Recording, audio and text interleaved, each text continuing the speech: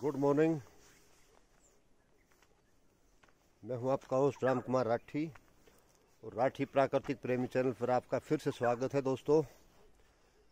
और सबसे पहले तो अपने दोस्त, अपने व्यूवर्स अपने फ्रेंड्स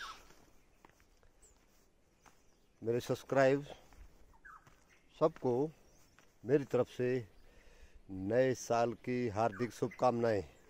आप सब लोगों के जीवन में अच्छी अच्छी खुशियाँ आए और यादगार साल बने। ये मेरी तरफ़ से शुभकामनाएँ हैं दोस्तों। और आज हम नैनीताल के उन पहाड़ों में घूम रहे हैं। सुबह सुबह मॉर्निंग वॉक पर निकले थे। और यहाँ देखने को मिला कि जो कल बर्फबारी हुई थी वो आज समाप्त हो गई है।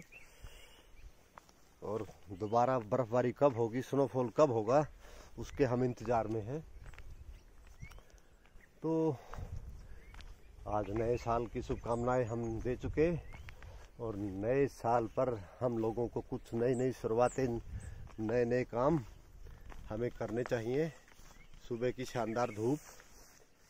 और यह माइनस में टेम्परेचर रहता है। और आप देख सकते हैं, मैं चारों तरफ़ घुमा रहा हूँ। ये देखो, ये पहाड़ की चोटियाँ, पक्षियों की आवाज़ें, शांत वातावरण बिल्कुल। मेरी आवाज़ के अलावा कोई शोर शराबा नहीं है। तो दोस्तों, नए ज़माने की बात करी जाए तो मेरे यहाँ एक दोस्त आया। उसने कुछ नए ज़माने की बात बताई और मैं अपने वीडियो के माध्यम से उस बात को आपसे शेयर कर रहा हूँ कि हमें समय के साथ साथ बदलना चाहिए। जिस तरीके से कोरोना महामारी आई थी और उसका नया वेरिएंट आया है तो उस वेरिएंट से बचने के नए नए उपाय भी हमें खोजने चाहिए। और वेरिएंट से किसी का नुकसान ना हो, ये हम आशा करते हैं। तो जीवन है, बीमारियाँ तो आती रहेंगी, जाती रहेंगी। लेकिन इस आने जाने के चक्कर में हमारा जो कीमती समय है, उसके अंदर हमें कुछ सुधार की ज़रूरत होती है। और सुधार भी आप सोचेंगे, सुधार कैसे करें? सुधार, कुछ हद तक तो सुधार हमें ऐसे करने चाहिए जो हमारी पुरानी परंपराएँ हैं। कुछ परंपराएँ गलत भी हैं और कुछ हमारे समाज में बुराइयाँ भी हैं और समय समय पर वो बुराइयाँ हमारे मंत्रियों ने, प्रधानमंत्रियों ने, राजाओं ने उनको ठीक भी किया है और उनको याद भी किया जाता है। जैसे एक सती प्रथा एक बहुत बड़ी कुरीति होती थी, उसको भी राजा राम मोहन राय ने उसको समाप्त किया और आज उसको भी इतिहास के पन्नों में पढ़ाया जाता है और बहुत अच्छा काम किया। तो इसी प्रकार इसी प्रकार और एक शादी का हाँ एक शादी का मैं ज़िक्र करना चाहूँगा। मेरे दोस्त ने बताया कि एक आईपीएस और एक आईएएस लड़की भी आईएएस और लड़का आईपीएस उनकी शादी। तो उनका शादी के बारे में उन, उनकी शादी हो रही थी वो उसको इनवाइट किया गया था। उसने उस शादी के बारे में ज़िक्र किया कि आज के बच्चों के विचार कैसे हैं। तो उसने मुझे बताया कि जब मैं वहाँ पे शादी के अंदर मुझे पता लगा कि ऐसी ऐसी घटना हुई है तो मैं अचंभित रह गया कि आजकल के बच्चों के विचार कैसे हैं। तो क्या हुआ कि जब शादी के प्रोग्राम के अंदर जो फेरे की जो विधि होती है, जहाँ फेरे होते हैं, और पंडित ने कहा कि लड़की के पिताजी को बुलाओ और वो अपनी बेटी का कन्यादान करेगा। तो उस लड़की ने विवाह वेदी से उठ करके अपने पिताजी से कहा, रुको पिताजी, आप मेरा कन्यादान नहीं कर सकते। तो वहाँ जितने भी आदमी थे, सबकी आँखें खुली की खुली रह गई। पता नहीं अब क्या होगा। कि ऐसा क्यों बोला इस लड़की ने? तो लड़की काफ़ी पढ़ी लिखी थी आईएएस है, और आईपीएस से शादी हो रही है।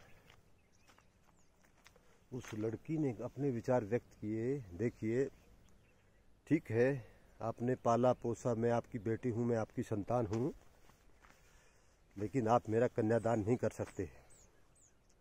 तो उसके पिताजी ने कहा, क्यों बेटा, ऐसा क्यों? तो उसने कहा पापा मैं कोई दान करने की चीज़ नहीं हूँ या दान करने की मैं कोई वस्तु नहीं हूँ जो आप मुझे दान कर सके। मैं आज भी आपकी बेटी हूँ और शादी के बाद भी मैं आपकी बेटी ही रहूँगी। तो ये उस बेटी के विचार मैं आप सब पर छोड़ता हूँ। मुझे नहीं लग, लगता उसने ठीक किया या मुझे ये भी नहीं लगता कि उसने गलत किया। मैं आप, इस विचार को आप सब पे छोड़ता हूँ। ये नए ज़माने की बातें। तो आज हम बहुत आगे निकल चुके हैं। बेटी और बेटे के चक्कर में हम फंसे रहते हैं, लेकिन आज की जनरेशन बहुत आगे निकल गई। उनके विचार काफ़ी अच्छे हैं। मैं इसका समर्थन करता हूँ। और जैसे इसने अपने विचार व्यक्त किए नए ज़माने की लड़की, पढ़े लिखे बच्चे तो हमें भी कुछ समय समय पर सुधार करने चाहिए। और एक दूसरा सुधार फिर बता रहा हूँ मैं। फिर वहीं बैठे बैठे दूसरी बात हो गई। और दूसरी बात क्या हुई कि जो हमारे हिंदू धर्म के अंदर जो शादियाँ होती है ना दोस्तों, वो शादियाँ रात में हो रही है। आप कहेंगे रात में तो सालों से हो रही है। हाँ बिल्कुल सालों से रात में हो रही है। लेकिन आप लोगों को शायद ये नहीं पता, और रात में शादियाँ होने की भी उन लोगों की कुछ मजबूरी होती है। क्योंकि हमारा देश भारतवर्ष पर काफ़ी लोगों ने आक्रमण किया, कब्जे किए, उनको राज किया। अंग्रेज़ों का राज हुआ, उससे पहले मुग़लों का राज था। तो कुछ परंपराएँ मजबूरी में भी एक्सेप्ट कर लेते हैं लोग। और रात की शादी भी मेरे विचार से ये मजबूरी में एक्सेप्ट करी करी हुई रीति है, इसको हमें बदलना चाहिए। क्योंकि रात में शादियाँ कब होती थी? देखो, हिंदू धर्म के अंदर आज भी आज भी सिखों में, सरदारों में आज भी शादियाँ दिन में होती हैं। और हमारे हिंदुओं में कई जगह देखने को मिलेगा, रात में शादियाँ होती हैं। रात में और पहाड़ में भी मैंने देखा, कई शादियों में गया हूँ, पहाड़ में भी ज़्यादातर दिन में ही शादियाँ होती हैं। रात में बहुत कम होती हैं। और रात में शादियों होने का एक पुरानी परंपरा है, उनकी मजबूरी कहूँगा मैं। क्योंकि हमारे अंदर से वो खौफ निकला नहीं है, वो डर निकला नहीं है। आप कहेंगे, कौन सा डर? जो हमारे बुज़ुर्ग, पुरखे, जिनकी हम संतान, उन्होंने ऐसे ऐसे समय देखा, ऐसा ऐसा समय देखा कि सालों साल तक देश गुलाम रहा, मुगलों का शासन रहा, और उनके शासन में क्या होता था? जो उनके विरुद्ध बोलता था, उनकी शादियाँ में रुकावट डालते थे, उनके बच्चों को उठा लेते थे तो इस डर के मारे लोगों ने चुपचाप रात में शादियाँ करना शुरू कर दिया। और वही डर, वही परंपरा आज भी कायम है। तो हमें आज तो हमारे देश में एक अच्छा वातावरण है, एक हिंदू राष्ट्र है हिंदुओं की अपनी पहचान है तो हमें किसी धर्म से कोई टेंशन नहीं है। हमें किसी धर्म से कोई एक्स वाई जेड कोई प्रॉब्लम नहीं है। लेकिन जो पीछे समय गुजरा, उस समय को हमें सुधारना चाहिए। उस समय की गलतियों की वजह से जो हमने अपनी परंपराएँ बदल दी, अपनी विधि बदल दी, उनको सुधारना चाहिए। नए ज़माने की बात है समय समय की बात है। तो नए साल से हमें प्रण लेना चाहिए। हमें रात की जो शादियाँ होती है, वो बंद करनी चाहिए।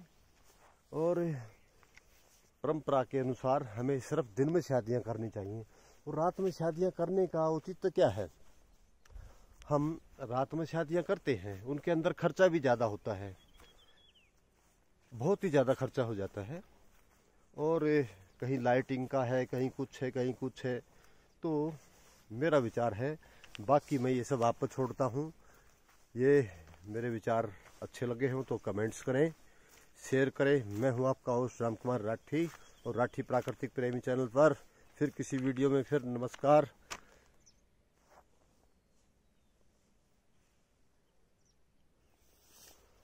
और जाते जाते वीडियो को मैं बंद करूँ तो मेरी तरफ़ से सबको नए साल की शुभकामनाएँ। मेरा चैनल लाइक करें, शेयर करें और कमेंट्स ज़रूर करें दोस्तों। आपके कमेंट्स के अनुसार ही मुझे वीडियो बनाने की हिम्मत और हौसला मिलता है। तो दोस्तों, नमस्कार।